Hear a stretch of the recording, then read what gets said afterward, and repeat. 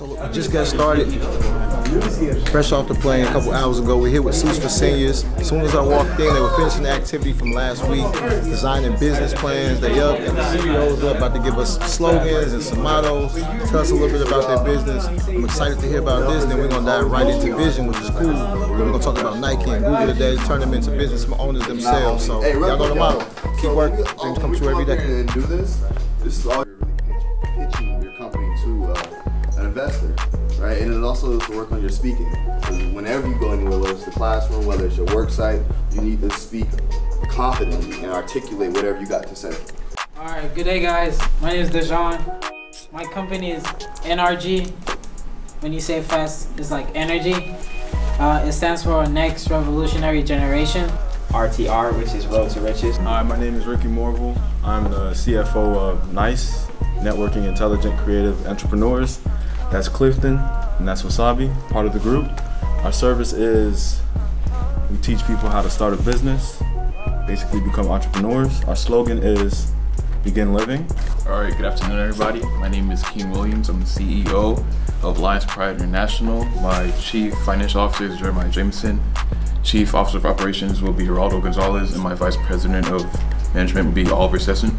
And we would be located, our headquarters is in A little bit about myself, real quick. I'm Patrick Walker Reese. I grew up in Chicago on the South Side. Uh, my dad was a two-time fella. My mom addicted to drugs. Um, my dad got out about a year ago, um, and this was the first thing he saw on my website. So he went and he started hitting me on IG, like under my pictures. I had to DM him, like, yo, you gotta chill, bro. Um, I was able to tell I was taken in by, by another family early on. Why do I tell you that?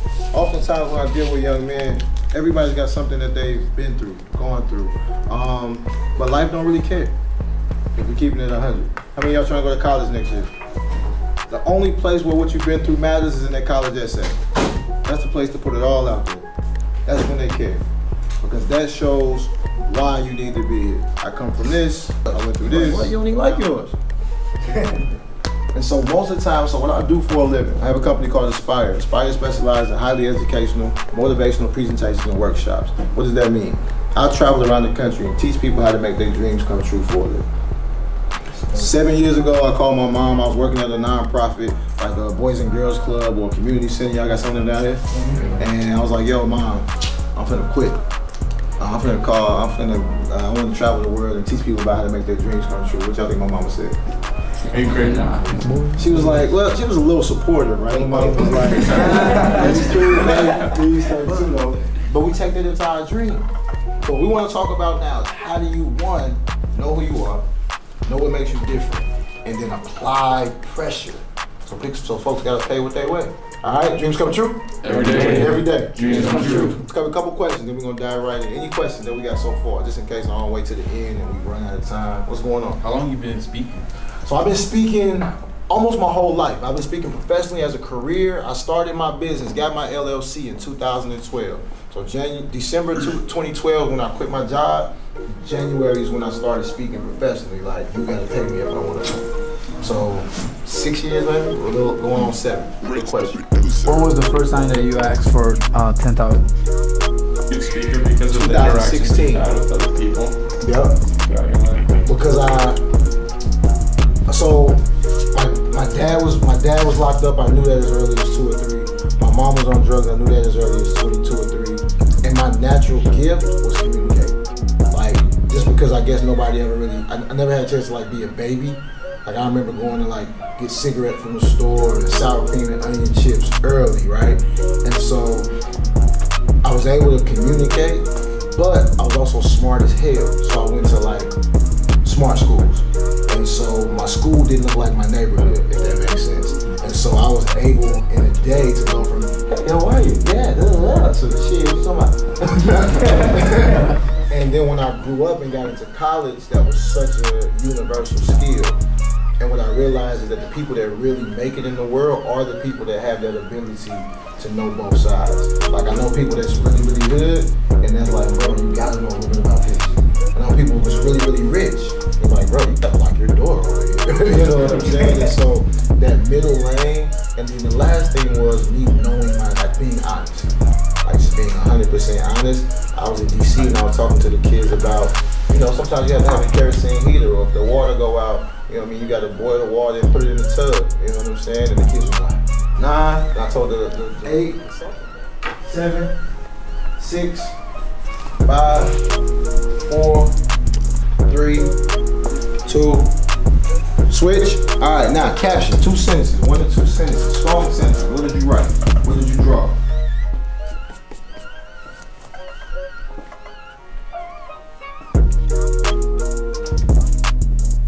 Leave outside of my shoes. My name is. Come on, man. What do you think his mama would said when he's boy, you gonna go ahead and do your? You lucky if you you lucky if you make it to college. Let alone be the best player in the world.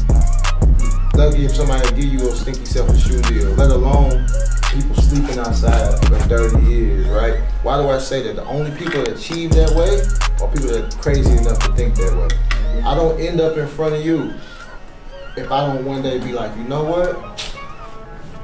It's got to be more to life than this.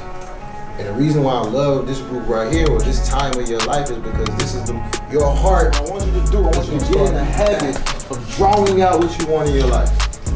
Whether it's print it out. If you want a new house, print it out. Put it up. If you want a new car, print it out. Put it up. If you want to go to Bethune-Cookman, I'll spend walk Steps you. to pursue happiness. Cool. Three claps. Make sure y'all speak up. We want to make sure we capture this so y'all can use this, get some money for the program. I am Marchief Brown, and I, my biggest takeaway today is that you have to have a plan to have a successful year. Exactly. Three claps. I am Dimitri Jasmine. My biggest takeaway today is that I have to set goals for myself, like my daily goals to accomplish what I want to. Three claps. Gotta have daily goals, y'all.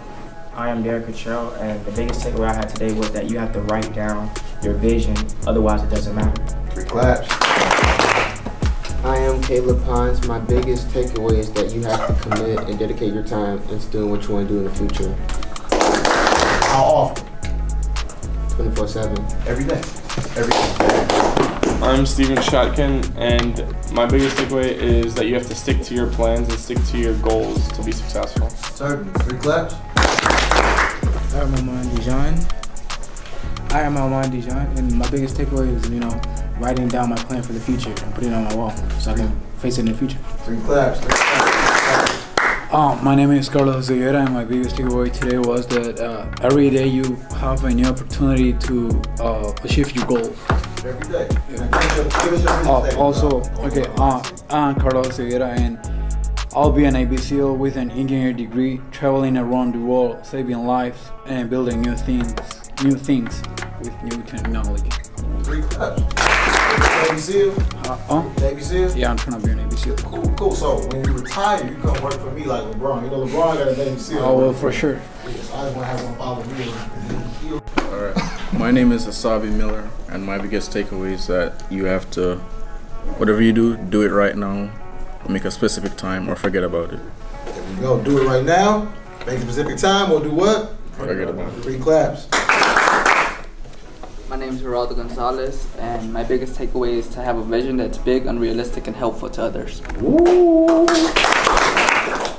my name is Clifton Taluska, and my biggest takeaway is to stay focused and is keep on and not procrastinate, just keep on staying on track.